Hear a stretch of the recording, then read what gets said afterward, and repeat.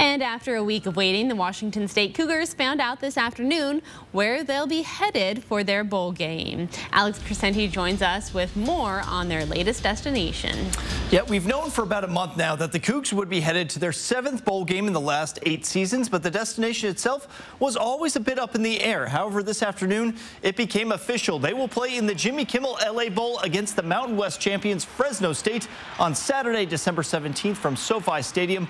For the most of the season, the Cougs were projected into this game, but after the Apple Cup loss, they were all but assured a trip to Los Angeles, and the venue might be the best in all of sports as they Washington State, this will be their first trip to SoFi, and that's a big opportunity to be seen by plenty of people you know, I, I think when you can play in venues like this, I think it's it's it's a nice new opportunity for our student athletes. So, it, like anything, it's it, it, it says a lot about uh, the, the, the the LA Bowl, uh, the group that has put this together to to work to get a world class venue uh, for this type of game. Uh, I believe on ABC, so on national TV as well.